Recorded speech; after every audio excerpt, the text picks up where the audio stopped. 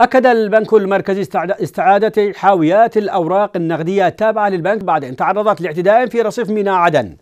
كما أكد البنك في بلاغ تلقته وكالة الأنباء اليمنية السبع استعادة الحاويات وتسليمها إلى البنك المركزي كاملة وبأقفالها الرسمية مشيدا بالتحركات السريعة لقيادة قوات التحالف والتي أثمرت عن استعادة الحاويات بشكل فوري وفيما يلي نص بيان البنك.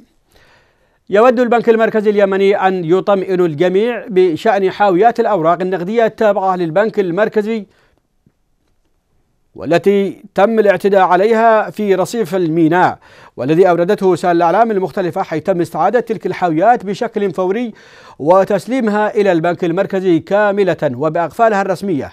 وعليه يوجه البنك المركزي جزيل الشكر لقيادة قوات التحالف التي عملت بشكل فوري على ذلك. وإذ يؤكد البنك المركزي على أنه يعمل باستقلالية تامة وأنه قادر على العمل المستمر باستقلالية مطلقة وحيادية تامة للقيام بوظائفه في إدارة السياسة النقدية وتعزيز الاستقرار الاقتصادي وفق قانون البنك المركزي رقم 14 سنة 2000 وتعديلاته.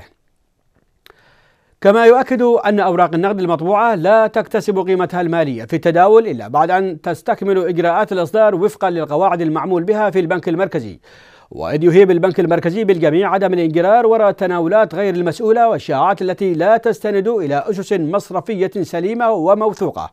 فإنه يؤكد أنه لن يسمح بأي إساءة إلى سمعة البنك ومهنيته أو الاعتداء على كل ما يخص البنك المركزي اليمني ويعرض الاقتصاد الوطني للمخاطر بمثل هذه التصرفات الغير مسؤولة التي تعد سابقة تهدد استقلالية البنك وحياديته وتعرض الاقتصاد الوطني للمخاطر خاصة في ظل التحديات التي تواجه البلاد والجهود التي تبذلها الدولة بمؤسساتها المختلفة بالتعاون مع الأشقاء في المملكة العربية السعودية.